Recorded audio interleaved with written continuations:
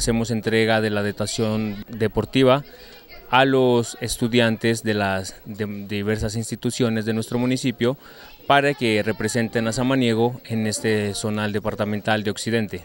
Las dotaciones se han entregado a, todas las instituciones que han pasado a la, a la final, eh, en este caso al Simón Bolívar y Institución Educativa Policarpa Salabarrieta. Eh, ya hemos entregado eh, toda la dotación.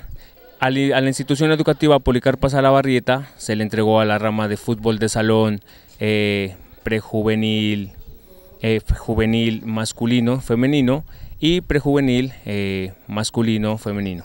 En este caso le entregamos a la institución educativa Simón Bolívar en la categoría juvenil baloncesto masculino y también hemos entregado eh, la dotación a la categoría eh, juvenil eh, rama femenina de la institución educativa Policarpa Salabarrieta.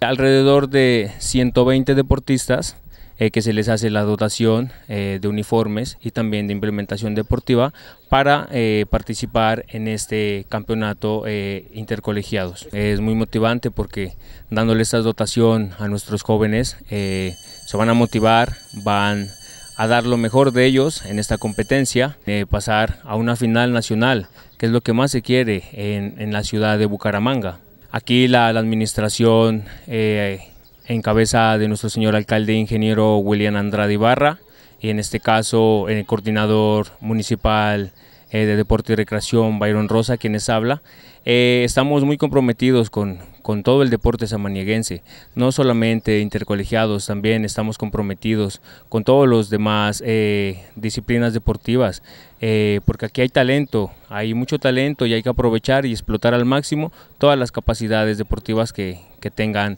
nuestros jóvenes participantes.